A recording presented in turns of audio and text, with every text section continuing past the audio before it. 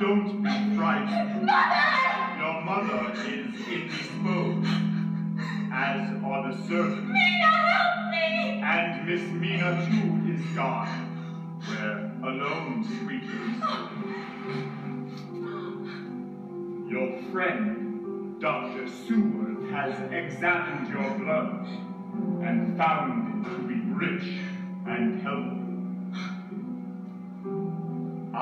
share his diagnosis.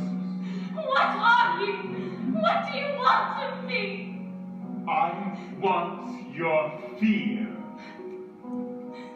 For your fear, like a current, rushes through your body. Your fear makes your heart pound.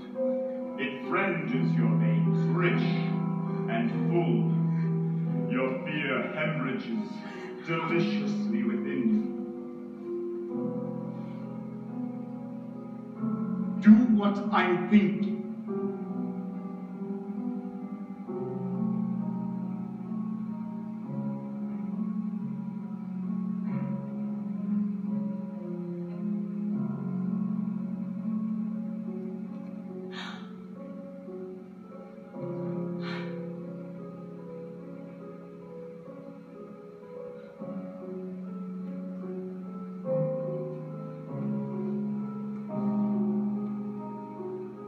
It's only a dream. You've been sleepwalking again, and dear Mina shall keep your secret. When you wake,